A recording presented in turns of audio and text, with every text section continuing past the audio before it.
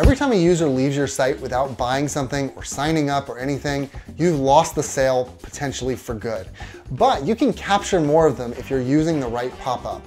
So today I'm gonna tell you about the different types of pop-ups, which ones to use and which ones to avoid. I'm gonna walk you through building an exit pop-up on your site. You'll use my site for it for today. You'll be able to check on my site and see that it's active right after this video if you want to. So if that sounds good to you, make sure that you like this video, comment and let me know what you think about pop-ups in general, and stick around until the end to find out how you can get a free one hour consultation with me, totally free, and another awesome freebie that I wanna tell you about at the end. But until then, let's get started. So there are three types of pop-ups. And by the way, I'm only talking about in-browser pop-ups here. I'm not talking about pop-ups that open up new browser windows and there's like 5,000 of them and you can't exit out fast enough. That's not what I'm talking about because those have been banned and made impossible to create because they are so annoying. So those are not made anymore. We're talking about in-browser pop-ups. These are part of your web page and they pop up in the browser, okay? So there are three types. There's a timer pop-up, a scroll length pop-up, and an exit pop-up. So the timer pop-up is exactly like it sounds, it pops up on a timer. So if you've been on the page for 30 seconds, then it'll give you that pop-up.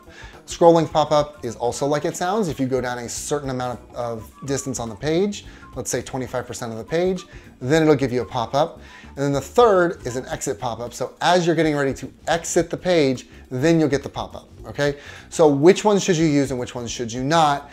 Only use the exit pop-up, only that one. The other two are annoying. Here's, here's the reasoning. So you're, you're enjoying your time on the page. You're having a nice time reading the article or watching the video or whatever's on the page. And after 30 seconds, you're disturbed, or after a certain amount down the page, you're disturbed. You're taken out of the moment. You're taken out of the moment where you were enjoying what you were reading or what you were watching, and now you have to be annoyed by this pop-up. Even if it's for two seconds, it's annoying, it takes them out of the moment, it increases the likelihood that they're gonna X out that pop-up and leave the page, okay? Whereas an exit pop-up when you're going to go out of the page anyway, this is a way of bringing people back into the page, okay? So if you're already getting ready to leave and you see the exit pop up, it doesn't bother you, you just keep leaving. But if you're getting ready to exit the page and you see it, you might be peaked to come back in. So that's why an exit pop-up is the most important and the only one that you should be using. Okay, let's go ahead and create it. Okay, so you can see now that we're in the uh, Level Me Up backend again. Welcome back. Um, so what I'm going to do here is I'm going to start by setting up the pop-up template, and then once you have the template, then you can move it into your page wherever you want to put it. Okay, so it's just kind of a plug-and-play setup, but you have to build the template first. So let's go ahead over here. We're going to go down to templates, pop-ups. I'm going to add a new pop-up and we can, we're gonna call it a pop-up because that's what we want. And I'm gonna call this free ebook pop-up. Create new template. Now it's gonna give me a lot of different options. There are a bunch of different templates that we can use, all sorts of different sides, like in the middle, on the sides, whatever we wanna do, they have an option for a template build out that we can use. So that's great, but I think we're just gonna keep it simple for now. We're gonna be really pure and we're just gonna start a new one from scratch. So what I'm gonna do here is I had a LinkedIn guide that I was using as a free ebook magnet a while back. I'm still using it. You can get it if you want. But um, I'm going to use that as a pop-up here. So I'm going to include that as the pop-up in the menu. And if anybody is interested as they exit pop-up, they can uh, they can get this guide. Okay, so here we go. We're going to first put in a heading. And you know what? To make my life a little bit easier, I'm going to actually open up the editor for the, the page because it's going to be pretty close to the same, but I want to get all the formatting stuff. So we're going to open this a second time. So th the, the thing here is that I have basically all the information I want to use. I'll just change it a little bit, but I'm going to take the ideas here and we're going to apply it. So I want that same image. I want the same text. So I'm just making my life easier. So let's go ahead back over to this tab here. Uh, okay, we need to grab this first. So we're going to pull it out of that title tag and we are going to, we're going to put it in there. We need to stylize it the right way. So this is using this blue. So we will copy that, Command C, style here. Great, we got the right color. Now let's go Francois one, and we don't have a size change. So I think I want to make that a little bit bigger. So we'll go ahead and push it up like that. And then we just need to center it. There we go, centered. Okay, so now let's put the image in. So we'll just put that right underneath. And we just choose the image. And I am looking for this one. Insert that. Now I think I want to make that a little bit smaller so it's not a super overwhelming image. So let's go for medium large. No, that's still a little bit too big. Let's go for medium. Nope, too small. Okay, we'll just, we'll keep it at medium large. That's probably fine. All right, so now what we're gonna do is we need a little bit of, hey, come download this text, some like push to make this happen, and then uh, an email form so that people can put that in and take the action that we want them to take. So let's go ahead and go back to the grid, and we're going to add a text editor. So we're just gonna come back over here. We're just gonna copy this, and then we will work on the style in a minute. You know what, I even wanna change it a little bit more. So let's go ahead and take this guy, put you down there. We want to do something to really grab their attention first. So let's take another heading we're going to put it up top. And we're going to make it, you know, mostly the same. So we want to have the same text color. We want to have the same typography as the title. So there you go. But we're going to make it bigger.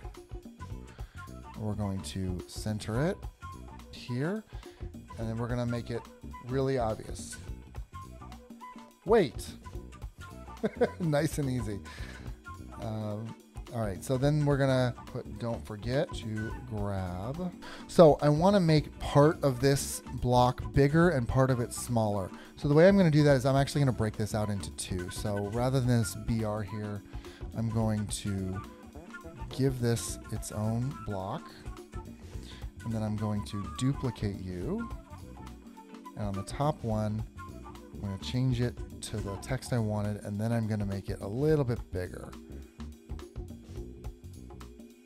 Okay, so the last and most important thing that we need here is just to add a form. So we're going to add a form so we can get our email address out of this person.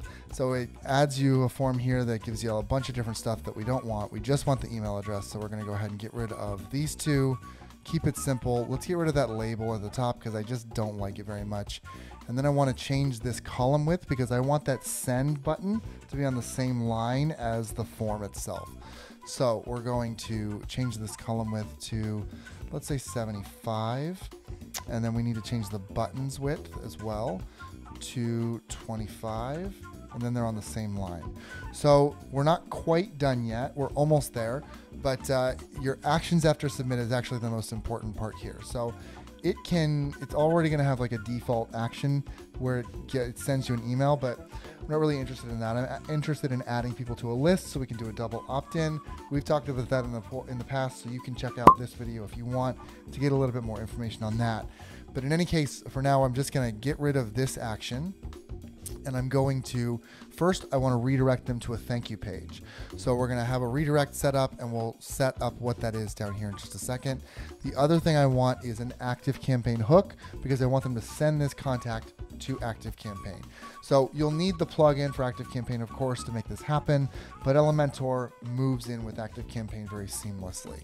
So we've got both these things set up. So you're gonna take this redirect and you're gonna redirect them to thank you ebook. So that's going to take them to just a generic thank you page that says, thanks, please wait for five minutes. You're going to get a confirmation and then you'll get your ebook. Great. Then the second thing we want is we want to have them tagged appropriately in Active Campaign so that they're being sent through the right funnel. Then we just go into Active Campaign, we set up our settings in there, and then we're, we're pretty much done here. So then the only thing that we really need to think about before we take this live. Maybe there would be some other little things you want to do, like maybe you wanted to round the corners or something, you can do that in here. Okay, so now that we're just about done, we can go ahead and publish this. So let's go ahead and publish. And it's, going to ask you why, what you want to do, like why should this pop-up happen? Now we're talking about an exit intent pop-up. There's a lot of other things you can do in activity, all that sort of stuff. Let's just talk about exit intent pop-up. So let's just do this one. So we'll just click yes on that. We click next, and then we'll just save and close it. We don't need to do anything else. And it is ready to go. Pop-up is live. So we can go have a look here and let's see how it goes. Boop. And there, there it is. And then all you have to do is fill it out. Nice and easy. There you go, guys. I hope that that was helpful for you. Let me know if that's improved your recapture rates and how that's gone for you. Otherwise, if you want even more about Elementor and building websites, in the description is a link to my free guide to building websites with Elementor. It covers way more than just pop-ups, so check it out down there. Otherwise, don't forget about my free one hour consultation. I really, really wanna help businesses that are in need and cannot afford a marketing consultant like me. So I'm giving away a free one hour consultation once a week to a business that really needs it. So if you wanna get involved in that and you wanna be the person for this week, make sure that you like, comment, and subscribe on this video, and then go to my site and just give me like a one or two line pitch as to why you really need it. Just let me know what you think about that and why you're really looking for my help. I would love to hear from you. I really wanna help. It's actually, it's, I'm really, really excited about that.